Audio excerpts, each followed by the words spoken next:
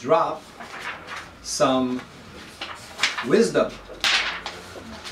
Pani Zosia. Hugat.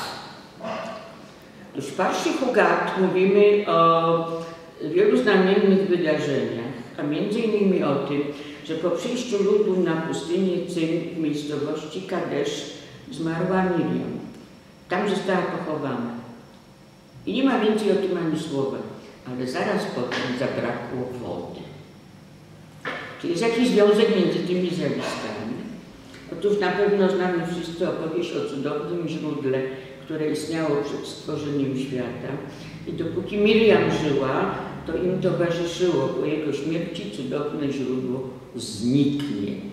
Myślę, że do tego tematu jeszcze kiedyś wrócimy, no ale sytuacja jest taka, nie ma wody, lud zaczął szemrać i buntować się jak zwykle. No więc Najwyższy kazał Mojżeszowi i Aaronowi, aby przemówili do skały, a ona wyda wodę. To moim zdaniem jest iż ważna nauka. Mów do skały, nie bij jej. Ale co zrobił Mojżesz? Otóż dał się ponieść jakiejś emocji i powiedział, jak to, ja nie, nie wyprowadzę wody i uderzył tą skałę swoim kijem. Owszem, woda popłynęła obfitym strumieniem, nazwano to potem wody Meriba, ale Bóg się rozgniewał. Nie uświęciliście mojego imienia wobec ludu, nie wejdziesz do ziemi obiecanej. Zostawmy na razie tą karę na boku, ale zastanówmy się, co się właściwie stało. Przecież takie sytuacje już się zdarzały. A Mojżesz zawsze wykonywał polecenia Najwyższego.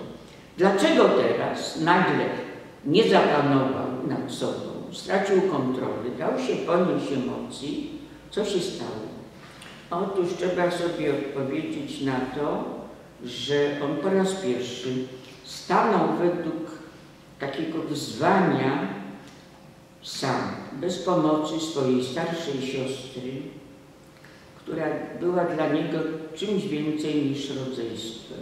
Pamiętamy, że go ona czuwała nad nim od urodzenia, pilnowała go, gdy był na rzece, rozmawiała o nim z córką faraona, postarała się, by jego matka go wychowywała.